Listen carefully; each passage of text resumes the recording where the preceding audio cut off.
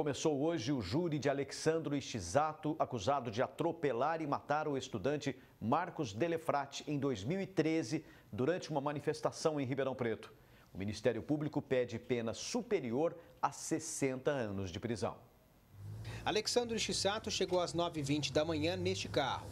O veículo entrou pelo portão lateral. Do outro lado do fórum, na entrada principal, a família da vítima chegava para o julgamento. A expectativa era de justiça e pena máxima para o autor. O que você está esperando hoje? Ah, que Deus abençoe a gente, que a gente consiga mesmo que ele vá agir popular mesmo, né? Muita tristeza, mas...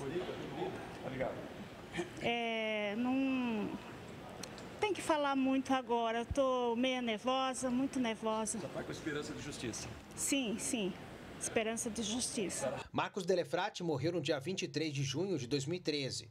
Ele participava de uma manifestação na zona sul de Ribeirão Preto quando foi atropelado pelo carro conduzido por Alexandre Chissato. Outras 12 pessoas também foram atingidas.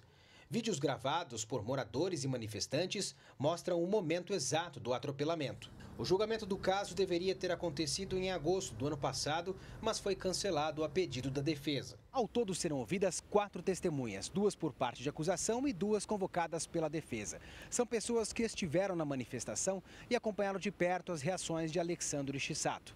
O primeiro a ser ouvido hoje foi um outro manifestante que também foi atingido pelo mesmo carro. A defesa diz que Ishisato avançou sobre os manifestantes porque se sentiu acuado. Ele agiu em legítima defesa, é, nós temos alguns vídeos que demonstram que ele já estava dando ré com o veículo quando aqueles populares começaram a violentamente bater no carro.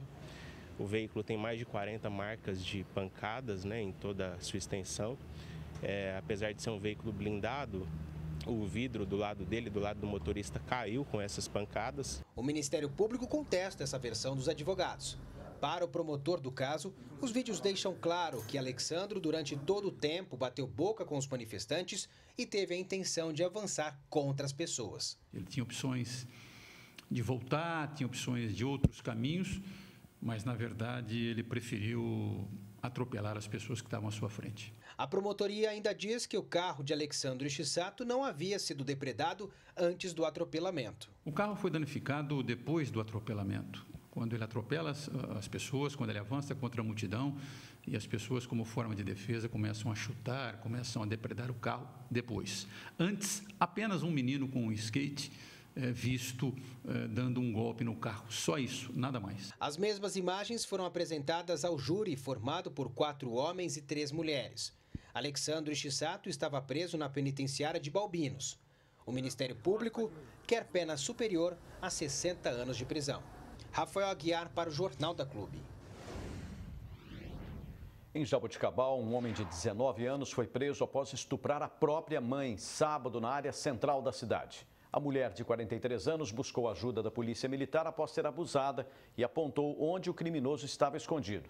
O jovem, que é usuário de crack, foi levado à audiência de custódia.